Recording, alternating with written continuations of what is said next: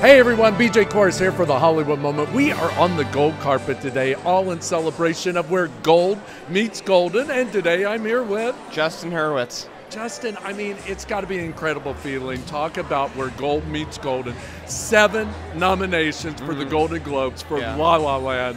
How exciting is this for you? It's very exciting. It's very flattering to have people like the movie and the work this much. Uh, we worked on this movie for many, many years and didn't know, you know, how it was going to be received or how it was going to work work out. Uh, when you spend so long in this bubble making it and then you finally put it out there and to see it received this way is very, very satisfying. I am sure composing what was one of the biggest challenges because you brought back old Hollywood style musical production that Yeah. just has been incredible to the big screen.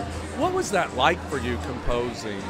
very very exciting and big challenge too a lot of work before the movie shot during the movies being shot and then afterwards a, a musical they're kind of all phases of it as a composer you're you're working and it was a it was a very exciting opportunity for me to get to sort of put so much of myself into a movie this is so much of this music i think is what i've been wanting to express for a long time What was your favorite moment from the film um, in in the movie in the movie? I mean, for me, there's so many great musical numbers. Emma's big number audition, The Fools Who Dream, just completely knocked me out. She sang that live on set, so getting to see her perform it in an, a real way in front of the camera every single time. I was playing piano with her in the other room and watching her just like drive that performance and create such an authentic, you know, vulnerable performance in front of the camera was really kind of took my breath away every take. Amazing.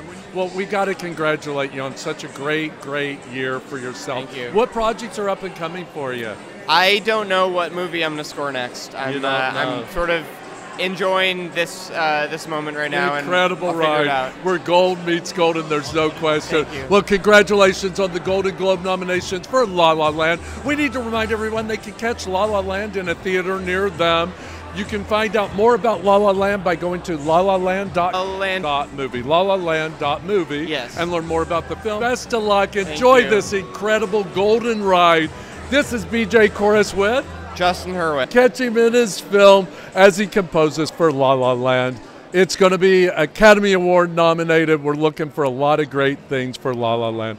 Best of luck. So BJ Coruscant, Justin Hurwitz. and this is the Hollywood Moment. If you enjoyed this edition of the Hollywood Moment on the road to Globes, to learn more about Gold Meets Golden, go to goldmeetsgolden.com.